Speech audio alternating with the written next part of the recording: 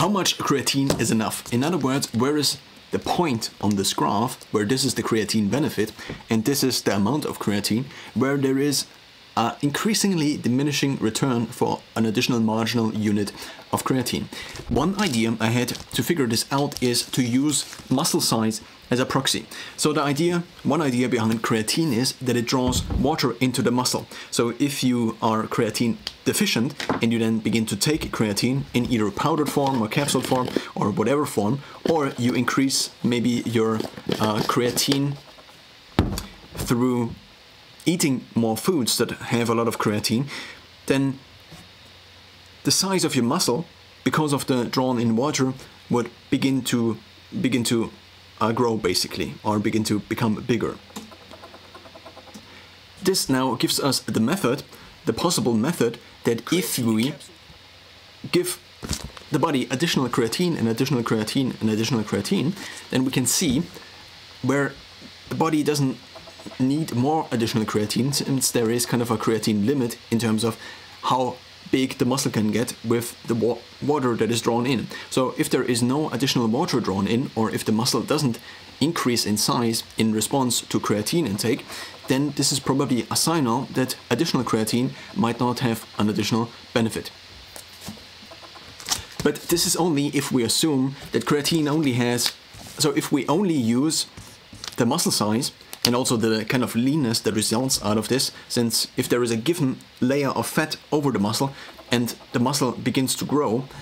from either more water or also more muscle size in general, then then this probably only partially acts as a proxy for the creatine intake that is beneficial. Because uh, we might not know if there is maybe additional creatine in the muscle, if additional creatine in the muscle, for example, would have a benefit, but is not visible. So we use the visibility of the creatine and the, the water it draws in kind of as a proxy for creatine intake or the benefit of creatine intake. But in general, there might be two different two different uh, sides to creatine intake. The one is the physical performance side, and the physical performance side could be approximated by the intake of creatine and then the muscle size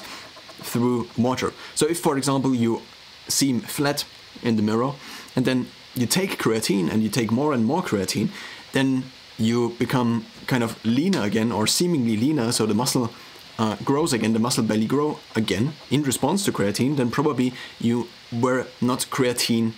So we, you were basically a little bit creatine depleted if we assume that the optimal level of creatine is kind of just the normal level of creatine and everything under it is a negative aspect compared to the opportunity cost of having a satiated level of creatine.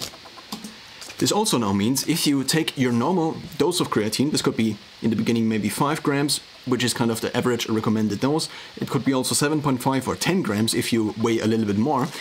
then if there are days, and this is something kind of I made up for myself now, because I asked myself where is kind of the limit, where is the limit where I don't have at least an additional physical benefit. So in terms of physical performance, again, as proxied by muscle size. And the idea is that if I take the high dose of creatine from day to day, and so you can take creatine daily apparently without any negative side effects, apart from maybe a few minor things. So there seems to be somewhat of a link with uh, increased DHT levels, which might be linked or are linked to hair loss, but this seems to be not that proven.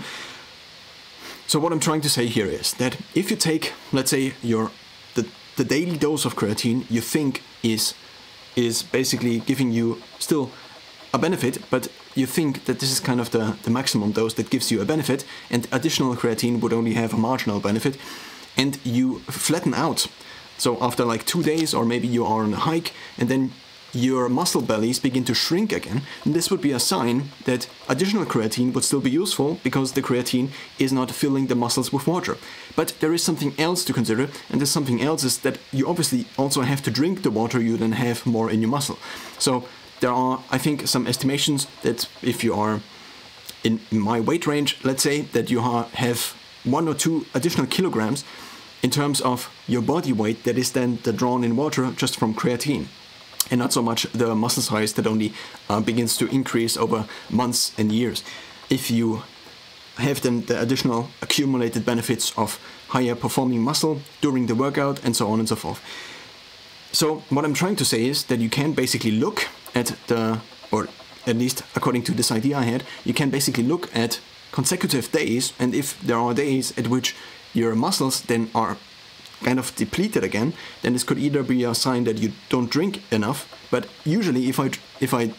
take creatine, and this is just an anecdotal example from me again, if I take creatine without the recommended water of about 300 milliliters per 1.25 grams, then I notice that I am very thirsty. So I have kind of to drink the water. But of course, there also could be the case where you eat a lot of, or you ingest a lot of creatine and you don't drink enough water. So there would be, you would have the visible,